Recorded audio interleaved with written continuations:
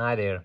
I got this Tri-ang battery topping controller with batteries in place. So these were four and a half volt batteries, massive.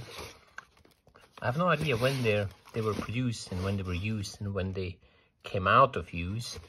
Um, probably pretty toxic batteries.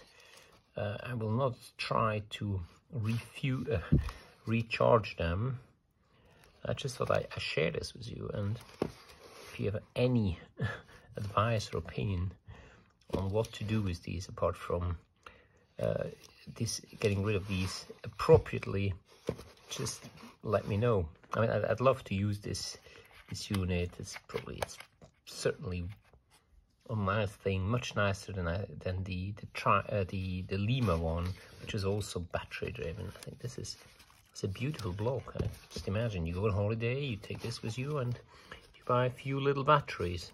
I wonder how many amps they were. Interesting. Right. Well, thanks very much for watching. Looking forward to get some comments. Bye.